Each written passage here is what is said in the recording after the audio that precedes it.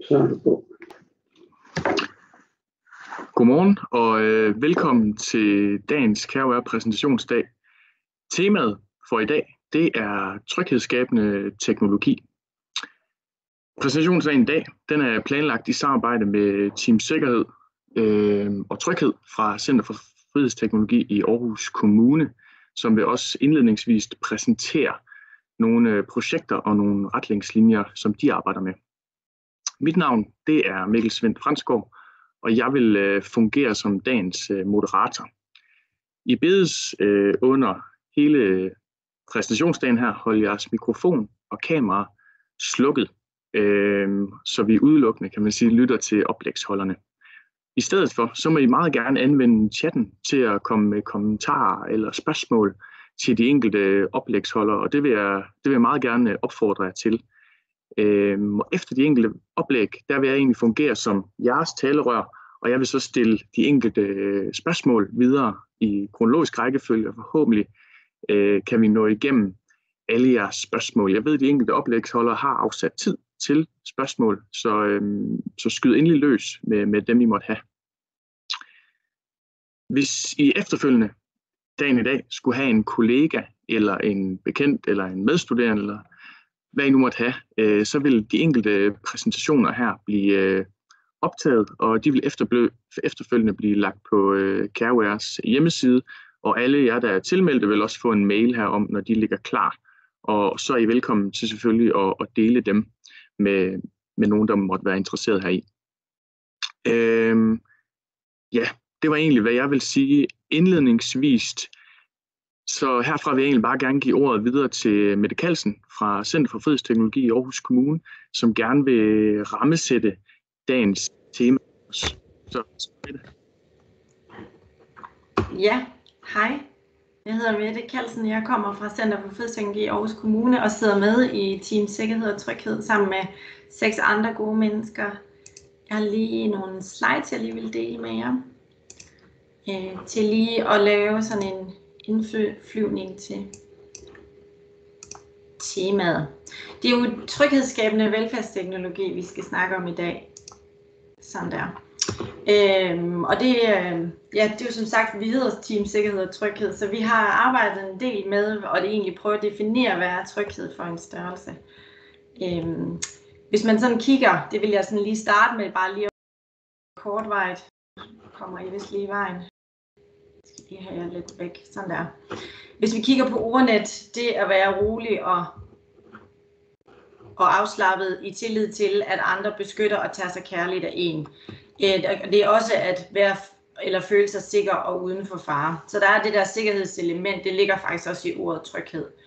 Øh, Trygfonden har også en øh, definition, som vi også har kigget på, som hedder, tryghed er en tilstand, hvor ydre trusler ikke anfægter den indre balance og udløser en alvorlig eller vedvarende psykisk belastning. Tryghed er individer opfatter og håndterer ydre udfordringer, som kan ramme dem personligt.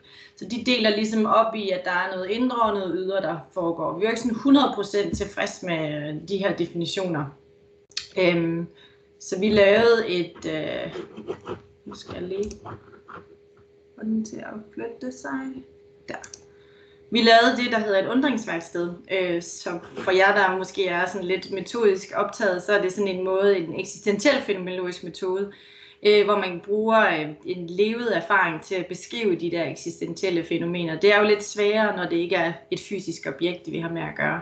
Noget af det, som vi så analyserede frem ud fra de der levede erfaringer, det var, at for at der kan være tale om tryghed, så skal der være et nærvær. Øh, relationer er rigtig vigtige. Der skal være en empatisk relation, og der skal være værdighed. Man skal have tillid til, sådan grundlæggende tillid, men også tillid til den, til den anden, man er sammen med. Og så er der faktisk også et element af frihed, øh, som har betydning i forhold til oplevelsen af tryghed. Og sikkerhed, som vi har været inde på, og så har vi også taget øh, ro med, både sådan fysisk og psykisk. Og tryghedens modsætning er jo så angst. Det ender sådan ud med, at vi har den her, det her forslag til en definition af tryghed. Vi er ikke sådan 100% enige, så vi har lidt arbejde foran os, men det er i hvert fald så langt, vi er nået endnu øhm, at tryghed er en tilstand af fysisk og psykisk ro, frihed og værdighed, hvor man har tillid til, at andre beskytter en for fare og tager sig kærligt og empatisk af en. til tryghedsskabende velfærdsteknologi, så er det, det har ikke sådan lige været muligt for os at finde en sådan regelret definition på, hvad vil det egentlig sige? Så det bliver en tentativ definition, og vi har fundet den i vejledning om magtanvendelse og andre indgreb i selvbestemmelsesretten. Øhm, og der står, at velfærdsteknologier omfattet af bestemmelsen er tryghedsskabende. Det betyder, at løsningerne skal være egnet til at understøtte borgerens bevægelsesfrihed, omsorg, værdighed, tryghed eller sikkerhed. Øhm, så det er for, at det overhovedet, vi kan tale om, at det skal være tryghedsskabende, så skal vi have fokus på det der frihed, som jeg nævnte før, omsorg, værdighed og tryghed. Så synes jeg, det kunne være lidt interessant bare lige at, at hurtigt tjekke ind med, hvordan står det egentlig til med trygheden. Øh, og der har vi fundet Trygfondens årlige tryghedsmåling for 2019, og den viser faktisk et markant fald i tryghedsscoren, altså den gennemsnitlige tryghed. Fra 2005, der var den på 81,5, det er jo stadig en høj score, øh, og til 2000 øh, til 70,5. Og det, øh, det, der er måske særlig interessant for os, det er, at det er særligt blandt ældre, at tryghedsscoren den faktisk er faldet. Øh, noget andet, de, de, de også afdækkede i den her tryghedsmåling, det var, at øh, de borgere, som oplevede den største frihed, faktisk også øh, var de borgere, som der var mest trygge. Det er jo ret interessant fund for i dag, der har vi jo valgt et, øh, et borgercentreret fokus. Øh, vi har fundet på en case, øh, som vi har sendt ud til de oplægsholdere, som der kommer ud fra, og, og vi tager også selv udgangspunkt i dem. Den har ligget inde på hjemmesiden til download, men jeg tænker lige, at jeg vil læse den op, sådan at, at vi alle sammen ligesom har den samme ramme. Det er en 71-årig mand med svær Alzheimer's demens. Imens borgeren bor, stadig bor hjemme i eget hjem, der er han meget utryg ved at være alene hjemme. Han var bekymret for, om der ville være nogen, der opdagede, hvis han faldt og ikke kunne rejse sig op igen.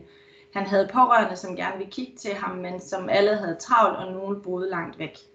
Nu er borgeren så flyttet på plejehjem i Aarhus Kommune, da hans demenssygdom forværres. Han er meget urolig i løbet af dagen, hvor han vandrer hvileløst omkring på gangene. Til tider er han meget dørsøgende. Han tolkes til at have svært ved at mærke sig selv. En kuglevest har mindre effekt, mens han har den på. Øh, piller ved alting, så det til sidst går i stykker. Taler hele tiden, men det med allermeste er uforståeligt. Borgeren har en svær døgnrytme forstyrrelse, som betyder, at han ofte er vågen om natten flere, gang, flere timer ad gangen.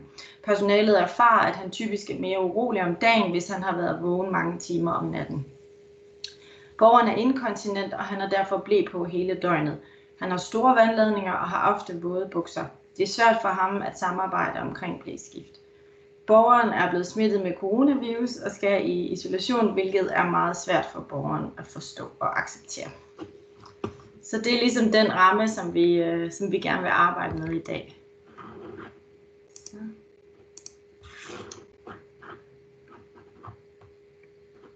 Det tror jeg var det, jeg øh, havde lige umiddelbart. Ja, tusind tak for, for det med det.